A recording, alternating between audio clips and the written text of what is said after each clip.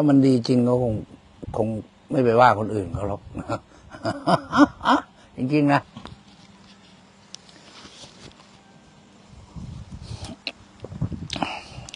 การศรัทธาการนับถือเนี่ย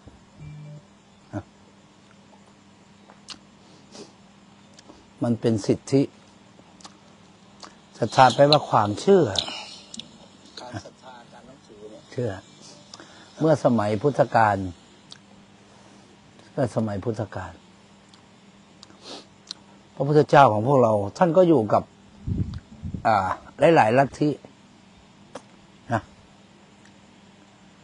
ท่านก็ไม่ได้ว่านะท่านก็ไม่ได้ว่าลัทธินั่นลัทธินี่นะผิดถูกอะไร พระองค์ก็ไม่เคยนะถ้าไปกราบถามพระองค์ ก็ต้องถามสามครั้งแล้วนะ พระองค์ก็จะตอบ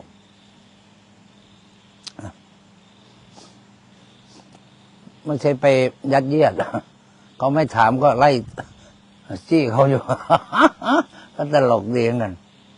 สมัยนี้กูเห็นแต่ผู้รู้เถียงกันผู้รู้ทำในเถียงกัน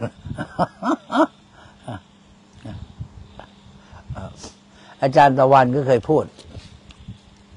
อันหนึ่งคือความเชื่อ เชื่อไหมทิฏฐิจริงก็คือความเชื่อนี่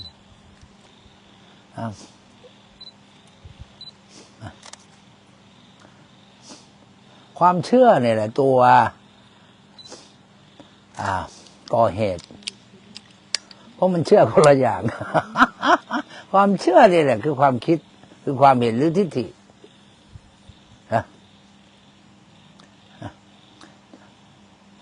จนผลสุดท้าย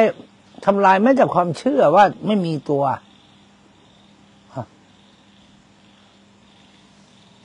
ทำลายตัวเสีย ตัวตนเนี่ย จนไม่เหลือความเชื่อ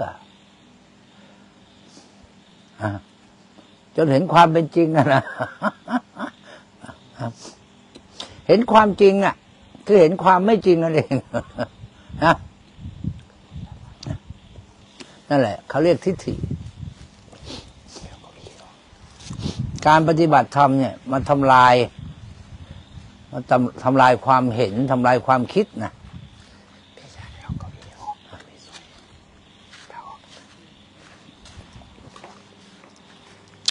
อะไรอะเอาเก้าอี้ออกครับคุณตาเหรอมันไม่สวยครับคุณตาอ๋อ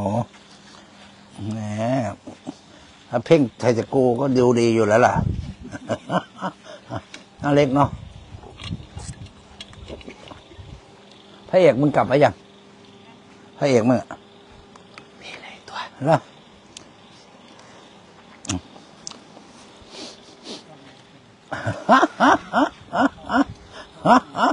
อ่านะจำไว้ว่าความเชื่ออะหรือเรียกว่าสมัยก่อนเนี่ย หลังจากสังคายนาครั้งแรก เดี๋ยวผมติดพระพุทธเจ้าได้ดับขันปริเดี๋นิยวพผมพาตินดต่อไม่ได้ผมจะให้เอาละ ในถ้ำสุวรรณคูหาเนี่ยสุวรรณคูหาเอาไม่จำเป็นแค่นี้ใช้พระอรหันต์ห้าร้อยรูปเข้าไปสังคายนาพอออกมาจากถ้ำพวกอยู่นอกถ้ำกับพวกอยู่ในถ้ำก็เถียงกันนะเพราะความเห็นนี่แหละก็ได้ได้แต่ถ้าฮะเป็นผมคือผมลบอย่างเดียวเมื่อพวกเราเชื่อไหมว่าพระอรหันต์ก็เถียงกันฮะ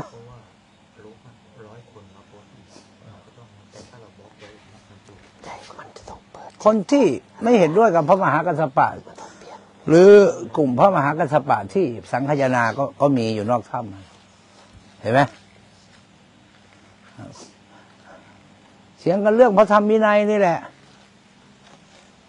เพราะต่างคนก็อยู่กับพระพุทธเจ้าเหมือนกันอย่างเงี้ยแล้วก็ได้ยินจากปากของพระพุทธเจ้า จากพระโอษฐ์ของพระองค์เนี่ยว่าการเวลาผ่านไปอาบัติเล็กๆน้อยๆถ้าเห็นสมควรก็ยกเลิกได้เห็นไหมนี่คือเถียงกันเรื่องนี้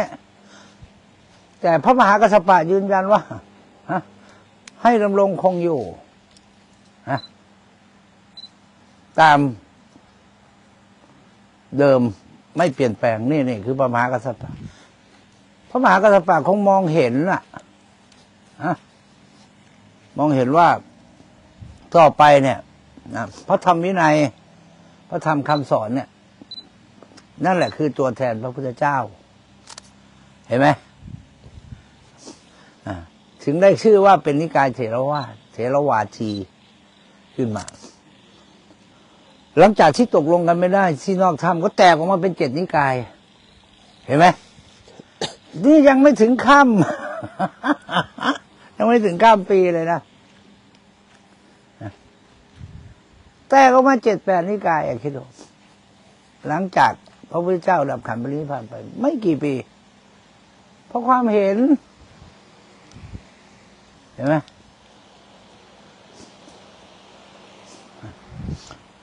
แล้วนี่ผ่านมาตั้งสองพันห้าร้อยหกสิบห้าปี ก็ลองคิดดูทีนี้ฮะใครก็เกิดไม่ทันหรอกจริงไหมล่ะในตำราพระไตรปิฎกก็ไม่รู้จริงหรือไม่จริงอย่างเงี้ย ใครเป็นคนเขียนก็ไม่รู้จริงไหมถ้าพูดถึงอะ เอาหลวงหลวงตาครับพระไตรปิฎกนี่พระพุทธเจ้าไม่ได้เขียนเองใช่ไหมครับมันจะไปเขียนอะไรไงฮะงั้นก็แสดงว่าผ่านมือคนที่ไม่ใช่พระพุทธเจ้าสิครับ เอ้ามาพระพุทธเจ้าดับขันธ์ปรินิพพานถึงถึงสังขายนา ก็ยังไม่ได้บันทึกนะฮะสังขายนาครั้งที่สองก็จะไม่ไม่บันทึกนะผ่านมาสองร้อยปีแล้ว ก็ลองคิดดู ฮะเพราะมันไม่มีปากกานะ มันไม่มีโน้ตบุ๊กนะ จริงไหมล่ะ ไม่มีอะไรที่จะบันทึกไว้แค่ความจำอะ แล้วพวกนั้นก็ตายหมดแล้ว จริงไหมถ้ามันไม่เพี้ยนอัศจรรย์อยู่นะยิ่งเป็นเรื่องของภาษาสอบภาษาจริงไหมแปลจากภาษามคตมาเป็นภาษาสิงหนมาเป็นภาษาอังกฤษ มาแปลเป็นภาษาไทยอะฮะ เหมือนคำว่าเจริญเจริญเนี่ย เจริญเจริญเนี่ยเป็นภาษาเขมรนะ แปลว่ามากมากฮะฮะเหมือนคนถกเถียงกันนี่แหละ ถ้าใช้ตรรกะใช้สมการจริงๆอะใช้ทฤษฎีจริงๆอะยังยังยังใต้เนี่ยยัง ถ้าเป็นพระพุทธเจ้ามาเกิดอยู่ภาคใต้นี่จริงไหมถ้าแกไปสวดเป็นภาษาใต้ ก็แกร้องเพลงภาษาใต้สิจริงไหมพระพุทธเจ้าเป็นชาวมคตอะฮะถ้าไปสวดมนต์จะเอาภาษามคตไปสวดก็ร้องเพลงสิจริงไหมเห็นไหมภาษามคตกุศลธรรมา กุศลธรรมาพยากตาธรรมาอย่างเงี้ยเห็นไหม ที่เขียนเขาว่าไปสวดสวดมาติกาเนี่ยอย่าลืมว่ามาติกาเนี่ยแปลว่าหัวข้อนะจะเอาไปสวดงานศพได้ไงก็ไม่รู้นะกุศลธรรมากุศลธรรมาอภยกตาธรรมา ที่จริงไม่ได้เกี่ยวกับงานศพเลยนะ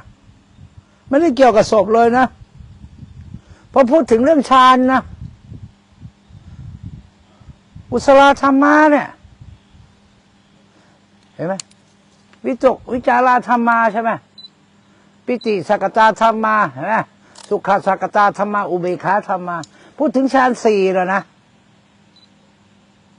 ฮะแล้วมันเกี่ยวอะไรกับคนตายอะฮะ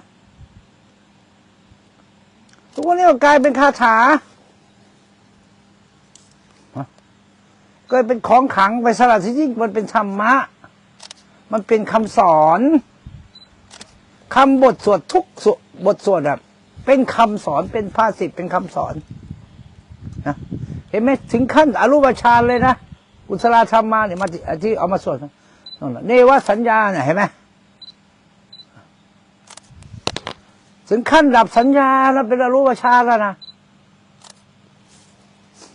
แล้วมันเกี่ยวอะไรกับงานศพอะ ยังยังเอาไปชักอนิจจาเนี่ยอนิจจาวัตสังขาราเนี่ย อุปายาทวยาธรรมิโน อุปชิตวานิรุตสันติเนี่ยเตสร้างอุปสมโมสุโข เห็นไหมอนิจจาวัตสังขาราอนิจจา มันไม่เที่ยง สังขารมันไม่เที่ยง วัฏสังขารา ความคิดปรุงแต่งนี่แหละ มันไม่เที่ยงมันเป็นวัฏสงสาร สังขารน่ะ สังขารน่ะ สังขารานั่นน่ะ มันเกี่ยวอะไรล่ะกับงานศพฮะเตสร้างบูปสมโมสุขโขฮะจริงไหมความสงบจากสังขารนั่นแหละ คือความสุขสุขโข แล้วก็ไปชักเอาผ้าออกมาน่ะชักอนิจจา มันไม่เกี่ยวกันเลยฮะ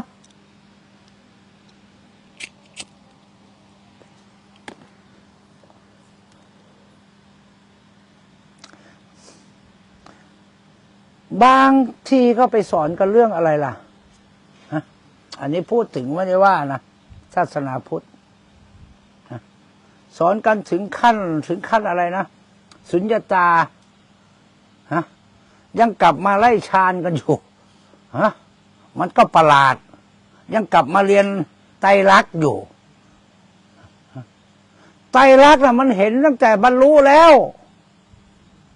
ถ้าไม่เห็นไตรลักษณ์ไม่เห็น ความไม่เที่ยงไม่เห็น ความเป็นอนิจจังอะนะมันจะไปถึงได้ยังไง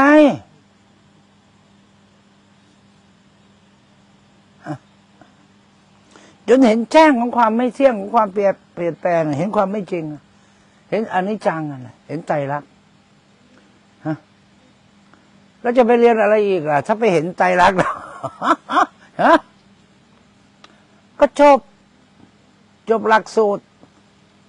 ทุกสมุทัยนิโรธมรรคไม่ต้องไปถามใครแล้ว ไม่ต้องไปสอนใครหรอก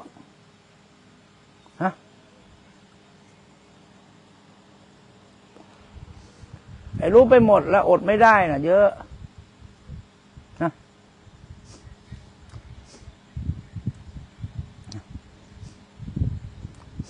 วันนี้เป็นอะไรนะเขาเรียกพิเศษเนาะฟังครูบาชายอาจารย์ตะวันแล้วก็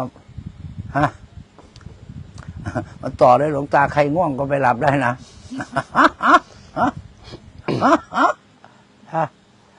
วันนี้มาหาดหาด อะไรอะมารวยมารวยฮะหาดไม่รู้ สำเร็จครับหลวงตาหาดสำเร็จเหรอครับร้านอาหารมารวยเพราะมารวยอะรวยจริงอะ กูจะมาบ่อยๆฮะหวี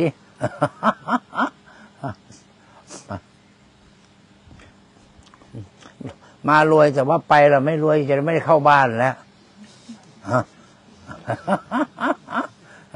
ไปนอนอยู่วัดป่าบ่อน้ำไปอินอยู่เป็นเดือนนี่ถ้าไม่มีอะล็อบบี้บีเอ่อล็อบล็อบบี้ยิสอะนะนักประสานสิบชิดอย่างซีเป้านี่เข้าบ้านไม่ได้เลยนะ อันนี้ไม่ได้เหตุบังเอิญเลย งั้นมึงเสร็จแน่วะไอ้อะไรนะชื่อพี่สิงห์อะไอ้สิงห์เห็นมันมาด้วยกันกูยังลืมเลย ที่มันทุกข์ก็เพราะมันลืมไม่ลงนี่แหละฮะจำดีนักยี่สิบปี คิดขึ้นมายังแค้นอยู่เลยฮะลืมไม่ลง ลืมไม่ได้นอนอยู่บ้านตัวเองก็ทุกข์ทุกข์เพราะความคิดฮะ อย่าลืมนะว่าความคิดเนี่ย คือวัฏสงสาร ไม่มีจบที่จบ ไม่มีที่สิ้นสุดนะตั้งแต่จำความได้แล้วก็ตื่นนอนมาจนนอนหลับไปนะคิดอยู่ไม่รู้กี่ปีกี่ชบกี่ชาติหรอกนะและตายไปเกิดชาติหน้าก็จะคิดต่อไปอยู่เรื่อยๆนะ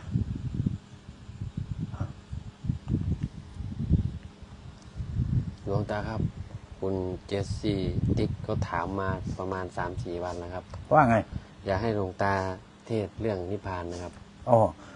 นิพพานใครอย่าไปเทศน์เป็น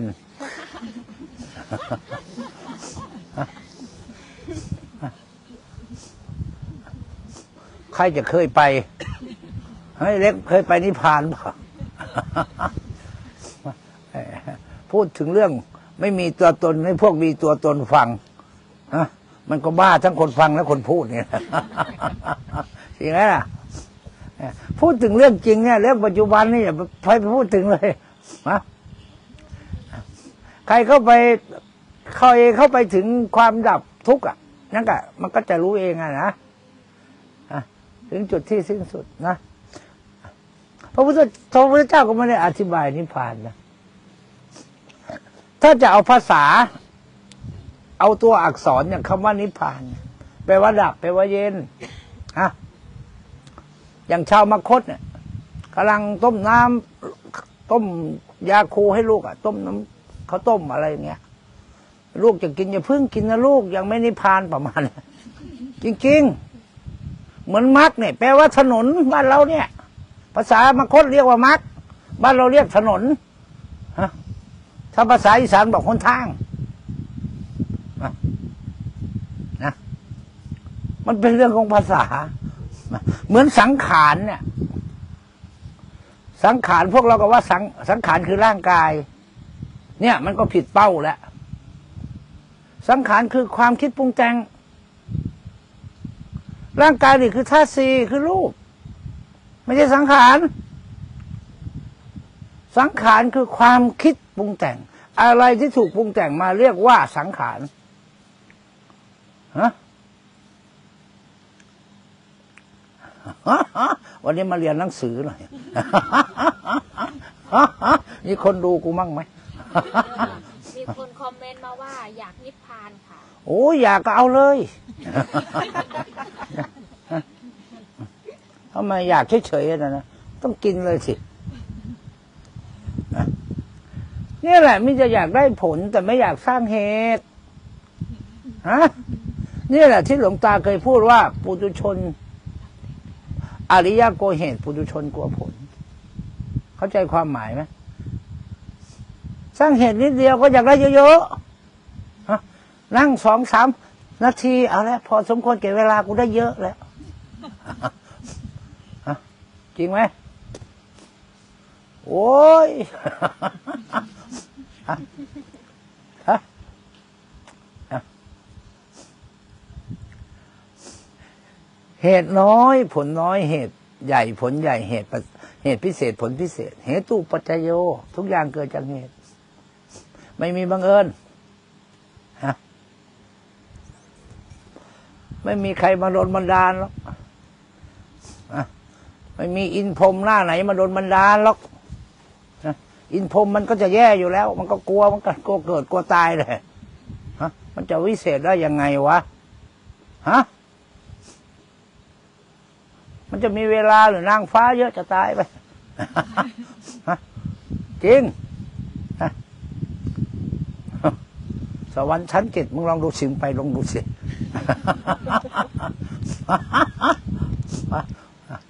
ที่เขาว่าเป็นหนังอะสวรรค์ชั้นเจ็ดมึงจะมีเวลาเหรอมึงจะสมันตาจนคอแห้งมันก็ไม่มาหรอกเมียไม่ให้มาหรอกฮะขนาดมีคนเดียวมันยังให้ไม่ออกจากบ้านเลย ฮะอันนี้เทวดาเทพบุตรเนี่ยมีเมียเป็นพันๆเป็นแสนๆฮะโอ้ยมันไม่รัดคิวกันด้วยนะ จริงไหมล่ะ ถ้าจะพูดอย่างนี้ยก็กระทบกับเทือนไม่สีเป้า จริงไหม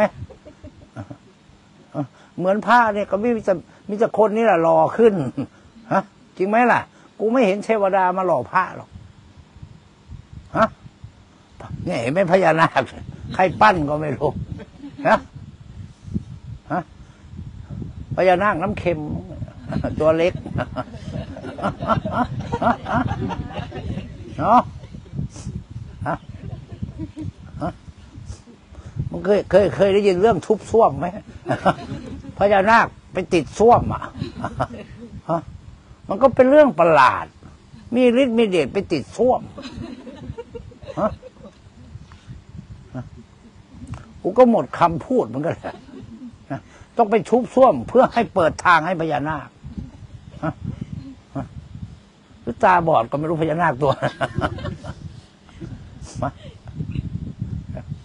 มันเป็นเรื่องประหลาดที่มนุษย์เนี่ย คิดไปเออเองนะ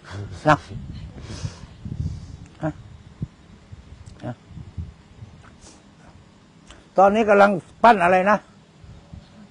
อะไรนะท้าวเวสสุวรรณกูว่าเหมือนจตุคามนี่แหละฮะตอนแรกก็โอ้โหตอนนี้ทำหล่นอยู่ข้างถนนเขาก็ไม่เอาฮะฮะกูก็ไม่รู้จะว่ายังไง มนุษย์ฮะไปนับถืออะไรก็ไม่รู้ เห็นไหมพระรัตนตรัย นะพระพุทธพระธรรมพระสงฆ์เป็นที่พึ่งอันประเสริฐเห็นไหมตอนนั้นไปพึ่งอะไรล่ะนะนี่ขนาดยุค 5G นะ ยังมีการกินขี้กันอยู่นะมึงเห็นพระบิดาไหมแต่โอ้ตัวพระบิดานี่กินทอดไข่นะยังกินไข่ทอดไข่เจียวอยู่ แต่ลูกศิษย์กินขี้ ก็ถือว่ากินทอดไข่ก็แล้วกัน เพราะพระบิดากินไข่ จริง จริงไหมล่ะอะ โอ้ยกูนึกว่ามันเจริญขึ้นมาแล้ว พัฒนาขึ้นมา ฮะ จริงไหม มันเป็นความเชื่อครับหลวงตา ก็เพราะความเชื่อเนี่ยแหละกูยังว่าเลย พวกของขลังนี้เนี่ยตอนนี้ยูเครนกับรัสเซียกำลังรบกันเนี่ยไปตั้งแผงอยู่นั่นเลยกูว่าคงได้ดีมากเลยนะนะมันอะไรกันนั่งหนาชาวพุทธเราเนาะฮะอะ พูดถึงเรื่องศาสนาต้องพูดถึงเรื่องทุกข์และเหตุของทุกข์ทุกข์จริงไหมความดับลงลงซึ่งทุกข์จริงไหมนี่คือศาสนาที่พระพุทธเจ้าสอนตื่นหน่อยสิตื่นเธอ ตื่นเถิดมีสติหน่อยเนาะไม่ใช่ความเห็นไม่ใช่ศรัทธาอย่างเดียวนะพระพุทธเจ้าบอกสอนเรื่องกรรม กรรมพันธุกรรมโยนิกรรมอะอะไร ปฏิสารโน เรามีกรรมเป็นของของตน มีกรรมเป็นผู้ให้ผล มีกรรมเป็นแดนเกิด มีกรรมเป็นผู้ติดตามมีกรรมเป็นที่พึ่งอาศัยฮะแล้วใครล่ะฮะจะมาแก้ตัวเองได้ มึงจะไปแก้กรรมตั้งแต่เมื่อวานนี้ได้ไหมล่ะฮะมึงต้องแก้ที่ปัจจุบันฮะ อันนี้คือผลของมันนะจริงไหมล่ะ มันจะกลับไปแก้ได้หรือเรื่องเมื่อวาน เรื่องอีกสิบปีมันไปแก้เหรอมาอันนี้ยังไปสะดอกข้อรถน้ำมนต์อยู่ได้โอ้กูว่ากูไปก่อนเขาแหละถ้ามันแก้ได้ฮะโอ้ไม่อยู่หรอกฮะมันแก้ไม่ได้นะนะนะมันต้องแก้ที่ใจเรา ทุกมันเกิดที่ใจ ฮะจริงไหมดับก็ต้องดับที่ใจ ดับที่เหตุของทุกข์ฮะมันก็เป็นเรื่องประหลาดฮะไฟไหม้หัวอยู่เนี่ย นักคิดทั้งหลาย จุดไฟไหม้หัวอยู่เนี่ยแทนที่จะดับไฟจริงไหมกลับไปว่าใครเป็นคนจุดวะจริงไหมมันเอาไฟแช็กยี่ห้อไหนอยู่อย่างเงี้ยแทนที่จะดับไฟ ฮะ นะอะ ดับไฟแล้วก็สิ้นเรื่องแล้วค่อยว่ากันเนาะเนี่ย ทุกมันเกิดขึ้นยังต้องไปถามหาอยู่มันลุงตาพูดอะ มนุษย์เนี่ยเพราะความสงสัย เดินอยู่ไปสองสามคนเนี่ยอยู่ตามถนนเนี่ยได้กลินขี้ปุ๊บเนี่ยเหม็นอะไรวะแทนที่จะเดินหนียังถามหาอย่างนะยังตามกลินไปอีกโอ้ยนี่ขี้ขี้ว่าไงขี้ผู้หญิงหรือผู้ชายเป็นยังว่าอยู่ นี่คือความสงสัย อันนี้เรื่องจริงเลย ฮะทำไมล่ะฮะเพราะความอยากรู้ไงฮะอยากรู้เรื่องของคนอื่นเรื่องข้างนอกด้วยนะไม่ไม่อยากรู้เรื่องของตัวเองมั่งหรือไง ไม่รู้ฮะชอบไปชอบไปเอ่อเห็นข้างนอก อย่าลืมว่าเห็นข้างนอกอะอะมันเป็นธรรมข้างนอกฮะต้องเห็นข้างในสิ มันถึงเป็นธรรมจริงๆนะเหมือนเราเห็นเทวดาเนี่ยฮะมันจะดีตรงไหนเราเห็นเทวดาฮะ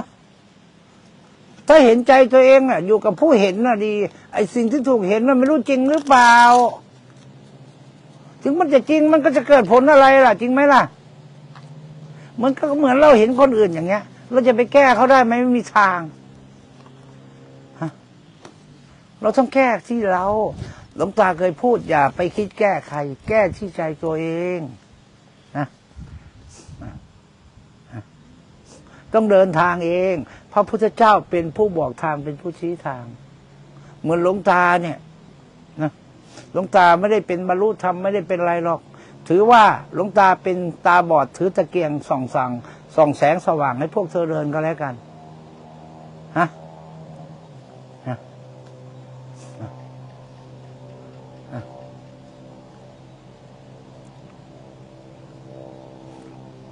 วันนี้ก็ได้มาเยี่ยมเนาะไปหลายจังหวัดนะภาคใต้นะแล้ววันนี้ก็มานัดพบกับอาจารย์ตะวันที่นี่อะครบสูตรเลยนะมาจากลำปางนะถ้ำแจ้งนะเป็นพระหนุ่ม หน้าตาดีเป็นรองกูหน่อยหนึ่ง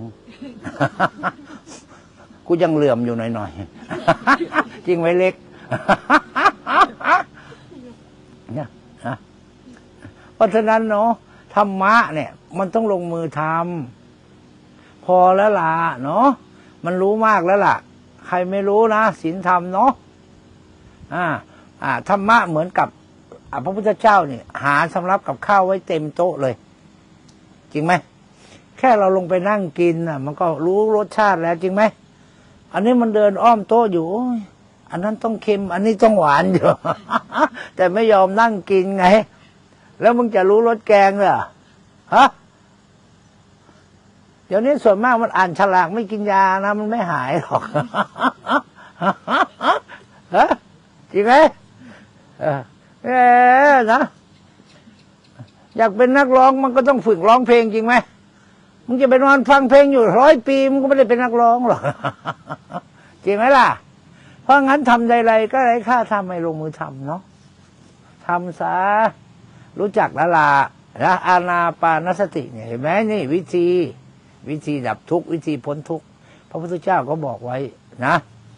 อาณาปานสตินะ ไม่มีทางอื่นหรอกเด้อนะใครจะสอนยังไงก็เรื่องของเขานะแต่หลวงตาเนี่ยนะ เชื่อพระพุทธเจ้า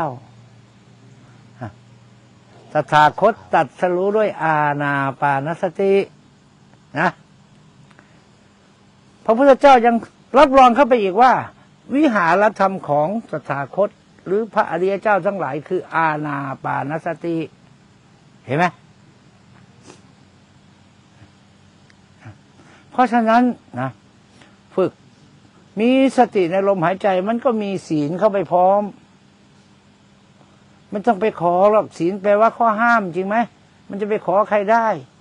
ที่ไปขอเนี่ยอาราธนาศีลเนี่ยให้พระ ไม่ใช่พระให้ศีลนะพระบอกศีล บอกให้เว้น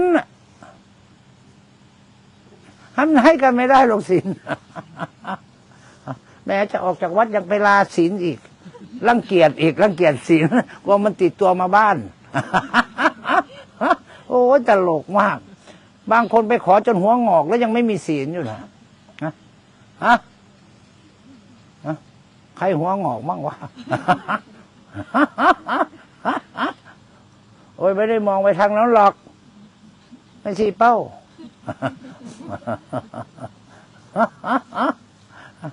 ศีลสมาธิปัญญา ถ้ามีสมาธิมันก็มีศีล สมถะเนี่ยมันบวกกับศีลไปด้วย ถ้าเมื่อไหร่เรามีสติอยู่ในลมหายใจ นั่นแหละเขาเรียกว่ามีศีลหรือเรียกว่าอาธิศีลอธิจิตอธิปัญญาใจสิกขาอยู่ในตรงนี้อยู่ในลมหายใจเนี่ยนะเขาเลือกใจสิกขารู้ไหมอธิศีลที่จิตที่ปัญญาศีลสมาธิปัญญา นั่นแหละคือมรรคฮะเข้าถึงลมหายใจนะมีสติแนบอยู่นั่นนะนะนั่นแหละนะนะก็ออกจากความคิด ความคิดก็จะผุดขึ้น ผุดขึ้น ผุดขึ้น มันคิดไม่ใช่เราคิดแล้วทีนี้ฮะเราก็แยกออกจากความเป็นเราซะอย่างไรความคิดคิดดีก็ช่างมันคิดชั่วก็ช่างมันประมาณเนี้ยเห็นไหมเราก็จะอยู่กับลมหายใจของเราเฉยอยู่อ่าเมื่อสติแนบอยู่ในลมนะนะอะนั่นแหละนั่นแหละ อุเบกขาธรรมก็จะเกิดขึ้นพอกพูนอุเบกขาอะ เห็นไหมพระพุทธเจ้าบอกดูก่อนอานนท์นะบุคคลใดเจริญอาณาปานสติสมบูรณ์แล้ว สติปัฏฐานสี่ย่อมบริบูรณ์ย่อมสมบูรณ์โพชฌงเจ็ดย่อมสมบูรณ์ย่อมบริบูรณ์วิมุตติย่อมบริบูรณ์นี่เห็นไหมนี่คือยอดมงกุฎเพชรแห่งกรรมฐาน คืออาณาปานสติเนาะอ่าอืมหลวงตามีคำถามครับ อะจากคุณทิติพรเย็นสนิท อายุ 54 ขวบ โยมขอโอกาสสอบถามสภาวะธรรมเวลานั่งหายใจยาวๆ มีความรู้สึกทราบซ่านหูอื้อเจ้าค่ะ เป็นสภาวะอะไรเจ้าค่ะโอ้ อันนี้กำลังกำลังกำลังของฌานนะมันจะทำเป็นจิกิริยาหูนี่จะอื้อ เหมือนหูทะลุกันเลยนะฮะดีนะหูไม่ดับฮะ อยู่ไปหลังๆนี่หูดับเลยนะ ไม่ได้ยินเสียงเลยเลยฮะไม่ใช่ นาทีสองนาทีนะชั่วโมงสองชั่วโมงเลยนะดับไปเนี่ยดับ แต่ว่าเวลามันจะเปิดเนี่ยมันจะป๊อกป๊อกป๊อกนะอะค่อยชัดเจนขึ้นเสียงเนี่ย ค่อยชัดเจนแล้วที่ได้ยินไกลมากจนตกใจนั่นแหละ นี่ไม่ดีคนคุยกันอยู่สามกิโลยังได้ยินเลยจริงๆเปิดใหม่ๆอะอันนี้เป็นนะเป็นเองนะไม่ได้พูดในตำรานะเนี่ยแสดงว่ามีกำลังเต็มที่ในในในอนาปนสตินะบางทีเนี่ย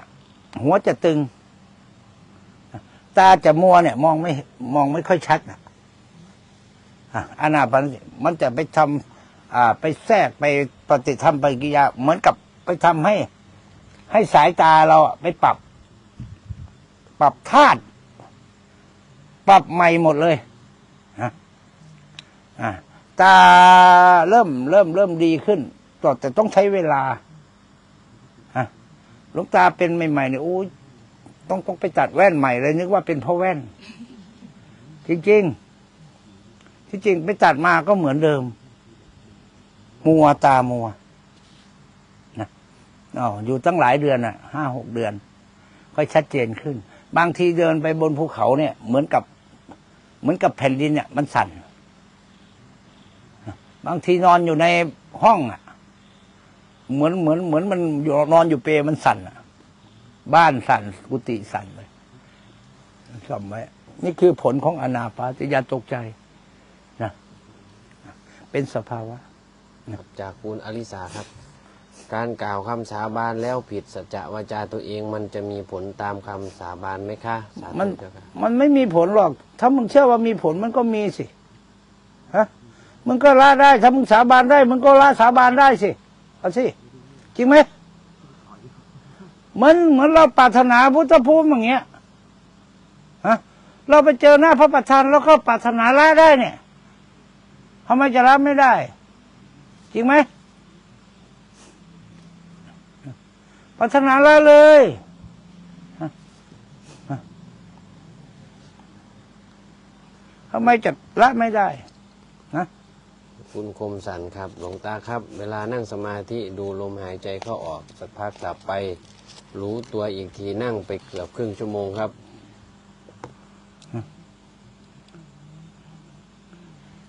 โอ้เวลามันเข้าผวังค์อะนะ เข้าสู่ความสงบอะอย่าไปว่าแต่ครึ่งชั่วโมงเลย กูนั่งหลับตาลืมตาขึ้นเป็นวันอีกวันหนึ่งแหละ กูนึกว่านั่งแค่นาทีเดียวจนตกใจนะมีมีมีมี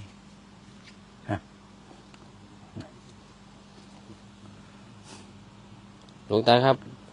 คุณจักรจักรพัฒน์ครับ ผมหูอื้อเป็นอาทิตย์เลยเกี่ยวกันไหมครับ เกี่ยวเกี่ยวเกี่ยวเกี่ยวโอ้ยสุดยอดเลยเนี่ยนะ เปรี้ยวตามดูมากๆอ่าดูเข้าไปมากๆเนี่ยหูนี่ทะลุกันเลยฮะ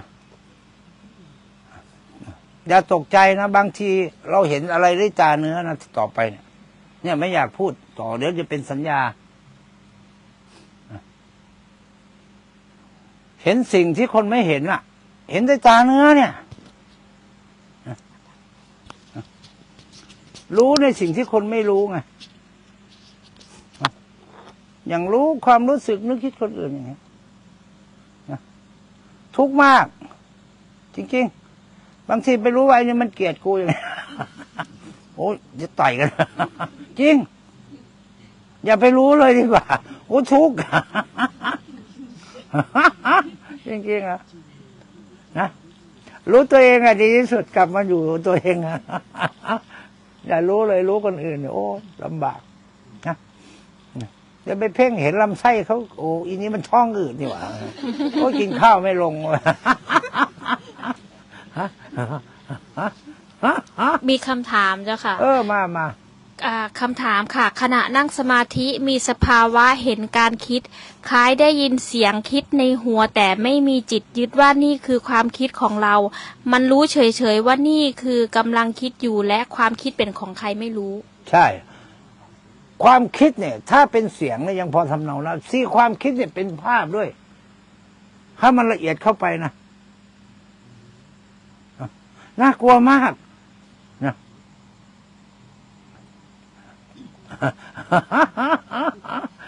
โอ้นะนะอานาปานสติฝึกไว้เถอะคุณจะเห็นเรื่องแปลกๆพวกเนี้ยแต่อย่าไปสนใจมันกลับมาอยู่กับลมอะตัดทิ้ง ตัดทิ้ง ตัดทิ้ง เพื่อความเร็วนะเพื่อเป็นอสังขตธรรมเนี่ยอยู่ในลมเลย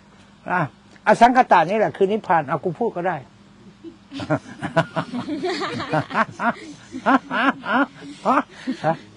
อ่าคำถามนะคะเออภาวนาแล้วลมหายใจหายไปเราต้องกำหนดจิตไปที่ไหนครับ ขอบคุณครับ โอ้ยอย่าไปหานะเนี่ยเนี่ยเนี่ยมันจะไปกำหนดอีกแล้วขนาดว่ามันหายฮะก็อยู่กับตัวรู้สึกตัวนั่นแหละ ให้มันหายไปเถอะ ไม่ตายหรอกฮะมึงจะอยู่ได้นานเท่าไหร่ยิ่งดีเงี้ยนะ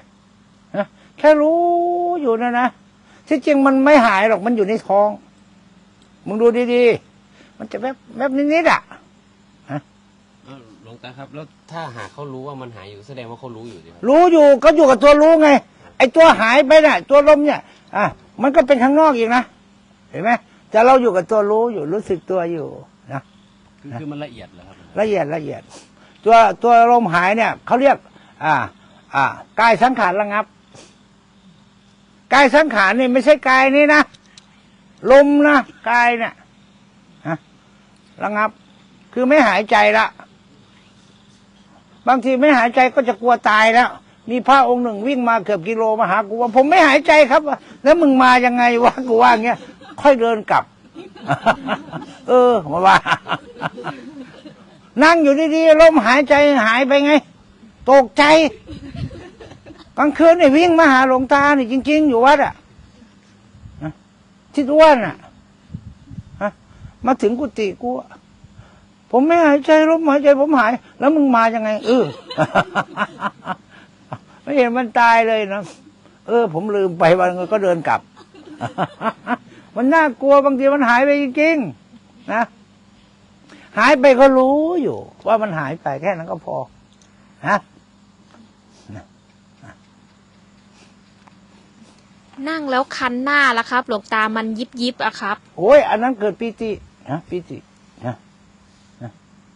ไอ้เกิดยิบยิบไม่เท่าไหร่ยุบยับยุบยับเนี่ยสิมันหนัก เหมือนกับมีอะไรไต่หรือบางทีมีเข็มเป็นเหมือนเข็มทิ่มทิ่มทิ่มทิ่มทิ่มเนี่ยนะบางทีเนี่ยปากในขาดออกนะปากนี่ขาดออกเลย เนี่ยตื่นขึ้นมาหมอนกูเปียกหมด จริงๆนะคือภาวนาดูนะปฏิบัติบางทีน้ำลายเยอะมาก แล้วทีนี้มันเพะดูเข้าไปดูเข้าไปมัน อันนี้ตัวนี้มันหายไปแล้วแล้วแล้วน้ำลายมันก็เลยไหลออก ก็ก็ไม่อยาก ก็รู้ว่ามันไหลอยู่นะรู้อยู่แต่ไม่อยากก็อยากอยู่ดูมันเฉยๆอย่างเงี้ยปล่อยมันอะกว่าจะออกมาได้ มาดูแล้วหมอนนี่เปียกเลยกูจริงๆ กูถึงรักหมอนใบนั้นมากกูหมุนมาหลายปีแล้วนั่นเขาไม่เอาใส่รถมาด้วย โอ้กูนอนไม่ค่อยนั่นเลย คำถามค่ะหลวงตา อยากรู้เวลานั่งสมาธิต้องนับชั้นหนึ่งถึงสี่ไหมคะ ไม่ต้อง ไม่ต้องไปไล่หรอกนะมึงจะไปนั่งนักมึงไม่เป็นสมาธิหรอกนะนะรู้อยู่เฉยๆนะการเข้าออกฌานถ้าวิจกวิจารเลยวิจกวิจกวิจารไป วิจกวิจารเนี่ยหมายถึง อ่า เหมือนกับเรามองหาใครสักคนเนี่ยเอ้อมองเห็นนั่นแหละวิจก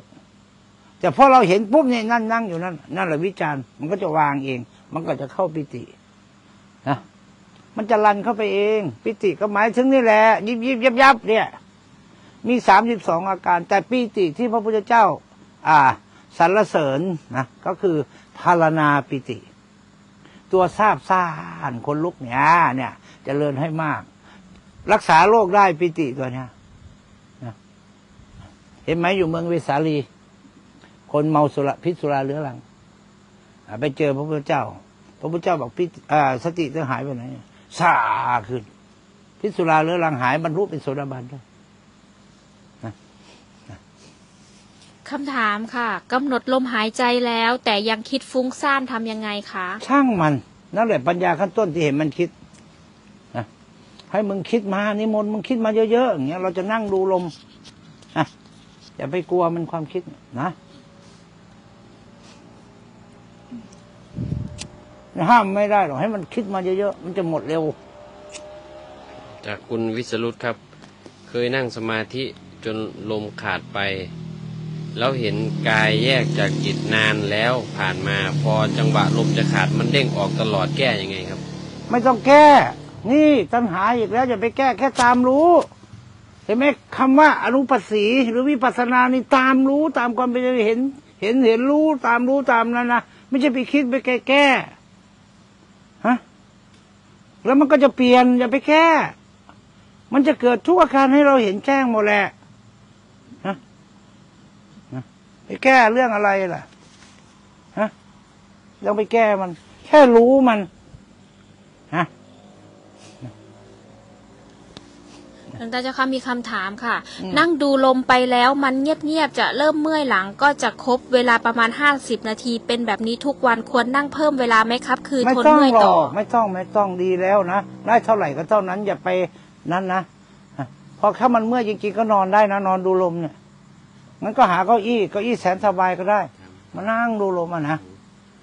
อ่าถ้ามันเข้าไปปุ๊บปุ๊บปุ๊บลมหายใจหายเข้าไปเนี่ย มันจะแน่น เหมือนสตาร์ฟไว้แข็ง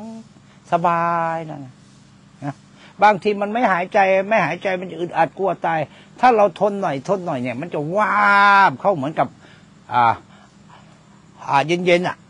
โล่งไปหมดโอ้ยลองมาหมดแล้วล่ะนะมีแต่กูยังไม่ดำน้ำภาวนาแค่นั้นจริง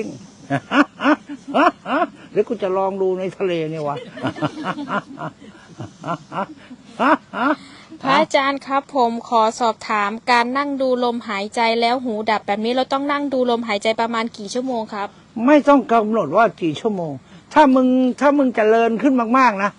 แค่มึงลมหายใจไม่กี่ครั้งหรอก ถ้ามันจเจริญจริงนะ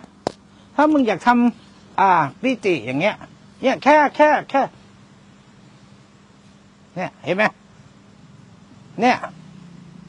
หายใจครั้งสองครั้งแค่นั้น มันจะมีชั้นของลมอยู่เขาเออเรื่องอารมณ์ของฌานนะเหมือนกูกอดไอเนี่ย ตอนเย็นเนี่ยกูก็ใช้ตัวนี้แหละ เนี่ยกอดไอเนี่ยต่อไปมันก็จะหลงรักกู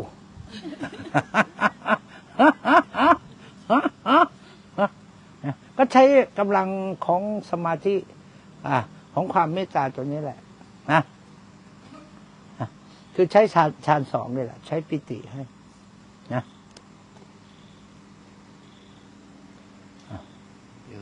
พ อแล้วมั้งพอแล้วพอแล้วเอากูจะละลงแล้วเนี่ยมีคมเหมือนถวายมาหมื่นหนึ่งนะครับ เห็นแวบๆเมื่อนะกี้ถวายมาสามหมื่นก็ได้คมมันครบองค์ไอ้พี่คมบอกว่าถวายพระเอ่อสามสามรูปเลยครับหมื่นหนึ่งโอ้ยมันมันแบ่งกันลำบากฮะแหมมึงก็คนละหมื่นสิ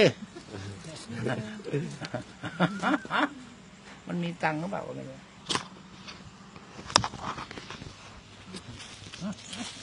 โอ้ยแบ่งกันลำบากฮัลโหลถ้าคนละสามพันห้ามันก็ต้องหมื่นห้าร้อยอย่างเงี้ย ไม่ได้ ต้องให้มันลงตัว